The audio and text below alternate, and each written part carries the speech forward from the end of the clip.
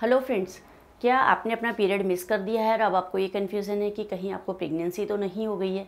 तो आप सोच रहे होंगे कि आखिर मैं घर पे कैसे प्रेगनेंसी चेक कर सकती हूँ? तो मैं doctor Sushila Saini gynaecologist and obstetrician आज आपको यही बताने जा रही हूँ कि आप घर पर कैसे प्रेगनेंसी टेस्ट कर सकते हैं।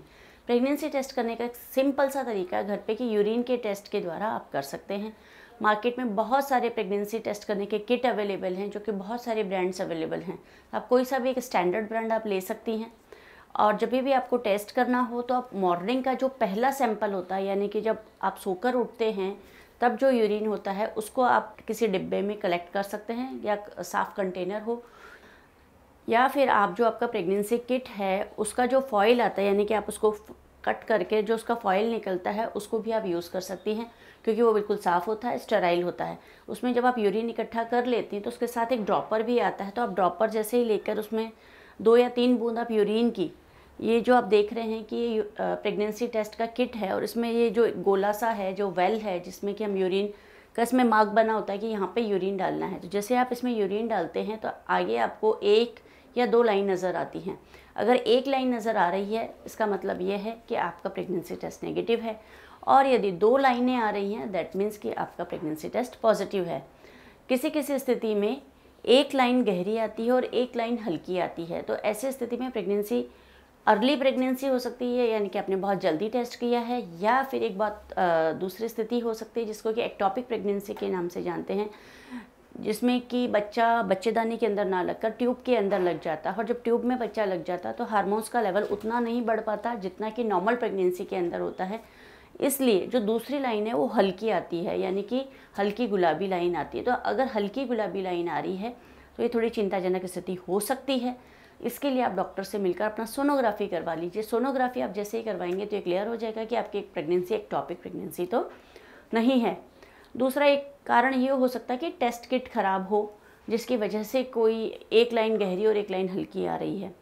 तीसरे प्रोबेबिलिटी ये हो सकती है कि उसमें एक भी लाइन नहीं आ रही है, यानी कि एक कोई सी भी लाइन नहीं है, बिल्कुल ब्लैंक वाइट दिख रहा है।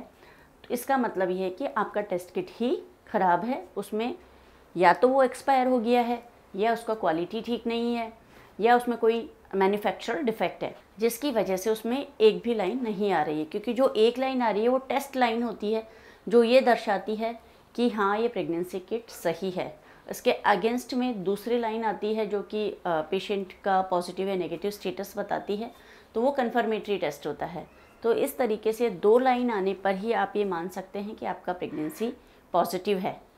और आपको ये लगता है कि आपकी प्रेगनेंसी पॉजिटिव है, यानी कि दो टेस्ट दो आ रहे हैं तो आपको तुरंत सोनोग्राफी करवा लेनी चाहिए, ताकि आप ये रूल आउट कर सकें कि कहीं आपको एक टॉपिक प्रेगनेंसी तो नहीं है। एक सवाल और आता है दिमाग में कि क्या प्रेगनेंसी टेस्ट किट नेगेटिव आने के बाद भी प्रेगनेंसी हो सकती है? पॉसिबिलिटी होती है कि यदि हमने टेस्ट बहुत जल्दी स्थिति में कर लिया हो, यानी कि अब जैसे ही पीरियड मिस हुआ, उसके अगले दिन या एक दिन में ही आपने टेस्ट किया हो तो कई बार शुरुआती अवस्था में टेस्ट नेगेटिव आ जाता है। दूसरा, हो सकता है कि आपका टेस्ट किट ख़राब हो।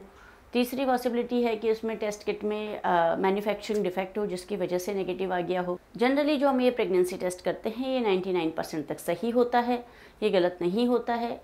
और जनरली ये दूसरे तीसरे दिन तक पॉजिटिव आ जाता है बट कई बार नहीं आता तो एक हफ़्ते तक वेट किया जा सकता है कि अगले एक हफ़्ते के अंदर ये पॉजिटिव आ जाता है। और अगर एक हफ़्ते में भी प्रेगनेंसी टेस्ट किट में नेगेटिव आ रहा है और आपको ये टेंशन है कि कहीं प्रेगनेंसी तो नहीं है तो फिर आप ब्लड टेस्ट करवा लेते हैं। ब्लड टेस्ट के अंदर बीटा एस नाम का टेस्ट होता है, जो कि बिल्कुल कन्फर्मेटरी होता है, जो बीटा एस हारमोन्स का लेवल को एग्जैक्टली एक्यूरेटली मेज़र करके हमें बताता है कि कितना लेवल है, जिसकी कन्फर्मेशन से हम ये कन्फर्म कर पाते हैं कि प्रेगनेंसी है या नहीं है।